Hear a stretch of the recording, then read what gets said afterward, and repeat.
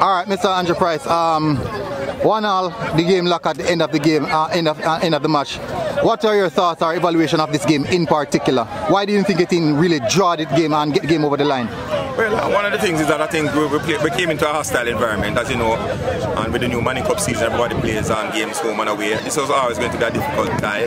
Um, it's not the type of surface that we are used to, but I think we stood out there and fought. I think our letdown today was that we didn't convert our opportunities, especially in the first half. The game should have been put away long ago. And then I, I, think that the the call for their goal was very questionable because I believe my goalkeeper was fouled. Be it as it may, we had an opportunity to come back and we fought and we fought in, in, in difficult circumstances. And they're a young team, they're going to have to learn. They're a young team, some of them playing Manning Cup for the first time and they're going to have to learn on the job and this was just another learning experience for them. We just have to get ready for our next game. Um, um, uh, you guys went a goal early in a goal up in the first half.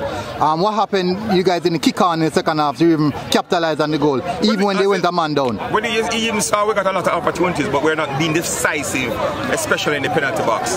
You know, we're, we're, we're, we're not being clinical in front of goal. We're getting the opportunities, but you know, we're, we're goal shy. And we just have to encourage them to continue kicking. All right, and well done, coach, and see you guys for the next game. Thank you very much.